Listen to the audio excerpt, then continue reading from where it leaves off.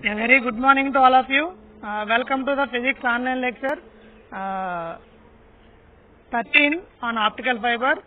Uh, before going to discuss about this lecture, I would like to recollect the previous concepts.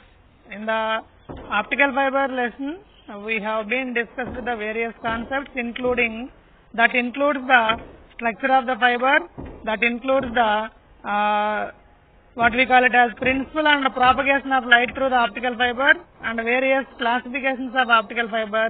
Apart from this, we have been discussing the applications of optical fiber in the field of uh, medical, uh, I mean in the field of medicine, in the field of optical fiber communication.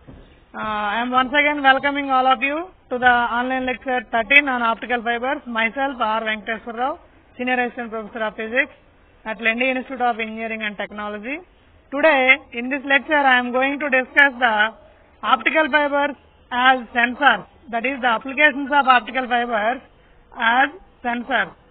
That means, you know the meaning of sensor. That means, uh, if any changes occurs, that change can be recorded or detected or identified by means of sensing. That is called sensor.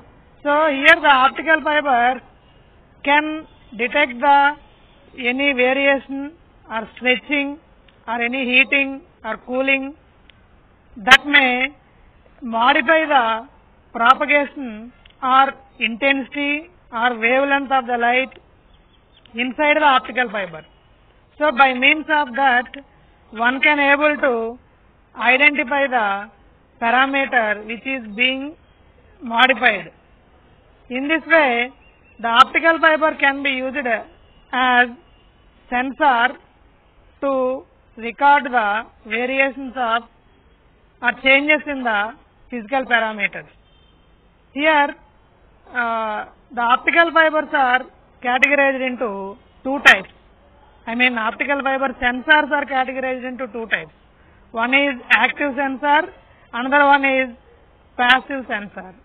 So, in the case of active sensor, it is also known as extrinsic sensor and the second one is passive sensor that is intrinsic sensor.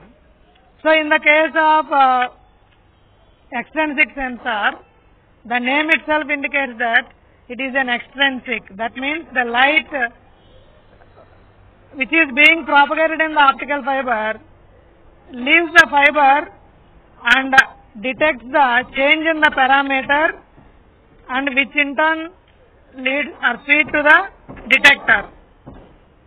The best example uh, for the extrinsic sensors are, uh, I mean, uh, vibration sensor, rotation sensor, etc. Torque sensor, twisting sensor, these are all extrinsic sensors or passive sensors. And coming to the intrinsic sensor, unlike the extrinsic sensor, here the light does not leave the optical fiber, but light inside the optical fiber that itself modifies any one of the parameters or any one of the characteristic of the light. Like uh, intensity, there may be a modification in the intensity, there may be a modification in the wavelength, there may be a modification in the phase, there may be a modification in the uh, travel distance, uh, travel time, like that by the modification of the any one of the characteristic of the light uh, within the optical fiber one can able to identify the corresponding physical parameter for example temperature sensor these intrinsic sensors can best example is temperature sensor temperature there suppose if there is a rise in the temperature that can be modifies the any one of the characteristic property of the light within the optical fiber. Maybe there may be a change in the wavelength of the light or there may be a change in the intensity. Like that one can able to identify the variation or the rise in the temperature of the optical fiber. This is how the optical fibers can be used as sensors. So, this is regarding the application of optical fibers as sensors. One is extrinsic sensor, another one is intrinsic sensor. The examples for extrinsic sensors are uh, used to measure the vibration, rotation, uh, displacement, velocity, acceleration, torque, twisting, etc. Whereas the examples for intrinsic sensors are strain, temperature sensor, pressure sensor, etc. So, uh, comparatively, intrinsic sensors are most useful, uh, or they may be more accurate than extrinsic sensors. Of course, each sensor has its, its own uh, advantage. This is regarding the application of optical fibers to the sensor. Thank you. Uh, if you have any queries, please feel free to contact me via my uh, mail ID or my WhatsApp number. This is regarding the optical fiber uh, as sensors.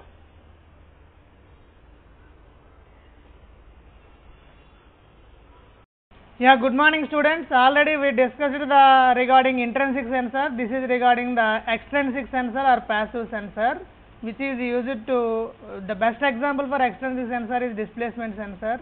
Here the light from the laser source is entered and it is propagated through the one fiber and it is leaving the fiber and it uh, targets the moving object and the reflected light from the moving object again received by the receiving fiber and it is collected at the detector. So, the intensity of the light received at the detector indicates the displacement between the optical fiber and the moving target. This is how the optical fiber along with the laser light used as a act, I mean passive sensor or extrinsic sensor. Thank you. Yeah, very good morning students. Uh, already we discussed the theory of the optical fiber sensors, intrinsic sensor and extrinsic sensor. Intrinsic sensor is also known as active sensor. Now, I would like to demonstrate the same with the help of an animated video. This is the laser source. The light from the laser is split into two light rays from by means of beam splitter. One is propagating through the reference optical fiber by means of total internal reflection and another another beam is propagating through the testing optical fiber by means of total internal reflection.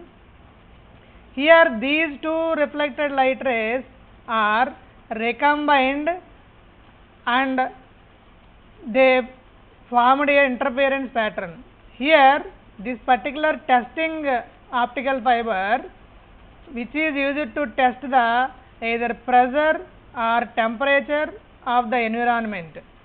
Here if there is a change in the temperature or pressure of the environment then there, that reflects the path difference in the interference pattern.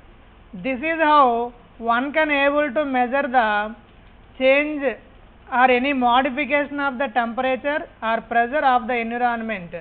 The, in this way, the optical fiber can be used as a temperature sensor or pressure sensor. This is nothing but uh, intrinsic or active optical fiber sensor. Thank you.